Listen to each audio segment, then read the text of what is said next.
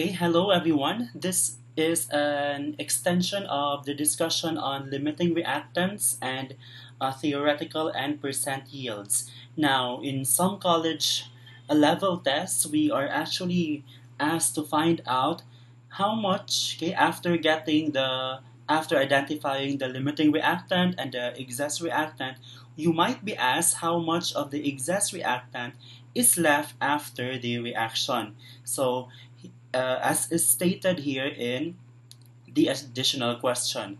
Alright, so how much of the excess reactant is left after the reaction? Now, previously, we have identified that our limiting reactant is hydrazine, which is N2H4, and our excess reactant is N2O4. So therefore, the question is asking how much or what mass of N2O4 is left after the reaction. So uh, a way to approach this problem is that we must find out how much of the limiting reactant reacted with the excess reactant. Alright, so find out through stoichiometric calculation how much of the limiting reactant LR reacted with our excess okay, reactant okay, or with the total number of the excess reactant. So therefore, we can proceed with the following uh, calculation. Right? We go back to our number or to the amount of our uh, limiting reactant, which is 1.00 times 10 to the 2. So we started with this. We and take note that we have already identified N2H4 as our limiting reactant. So we expect all or the 100 grams of N2H4 to be all used up and to have reacted with N2O4. Alright, so we base it on that manner. We have to find out the number of grams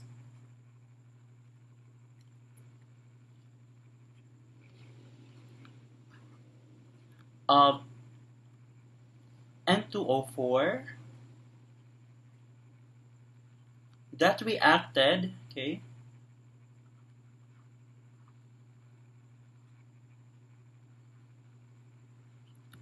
with our limiting reactant, with our LR. Alright? So, again, we start with our limiting reactant. We know that initially we have 1.00 times 10 to the power of 2 grams of N2 uh, H4. Okay, again, this is our limiting reactant. And then we have to calculate the number of moles that reacted with N2O4. So that means we'll have 1 mole N2 H4 here. This is the molar mass of N2H4.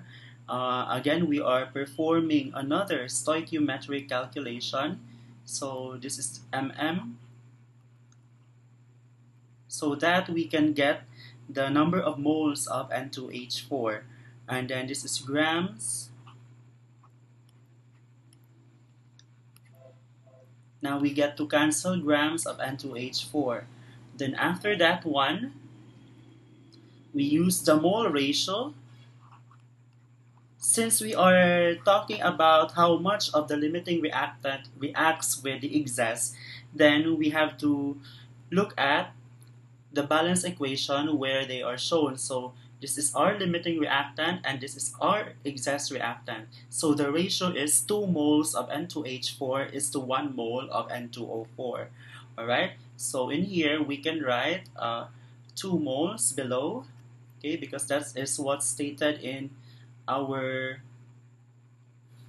stoichiometric or balance equation. So 2 moles N2H4 and on top of it, since we want to get how much of the excess reactant actually reacted with the limiting, so that's 1 mole N2O4. Again, we got this from the balance equation. Alright? So this is 4. Now we can cancel and cancel grams, or cancel moles rather. After that one, we may add another conversion factor such that we will end up with the amount in grams of N2O4. So this is uh, 92.01 grams. So this is the molar mass of the nitrogen tetroxide. And then 1 mole of N2O4. Alright? Now we can cancel, we can cancel.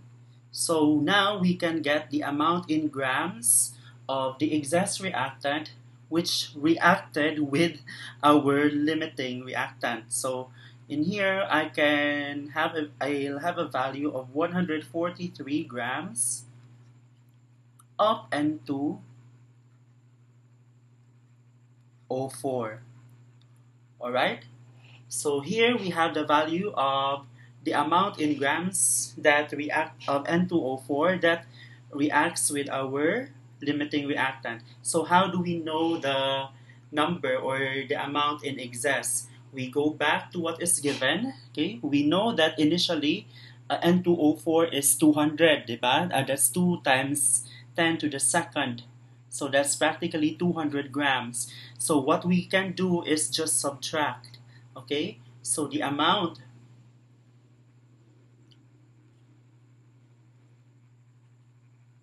amount of excess reactant after the reaction or the mass rather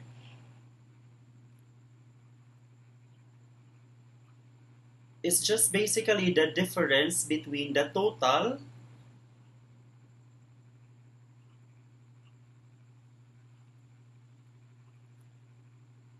minus the reacted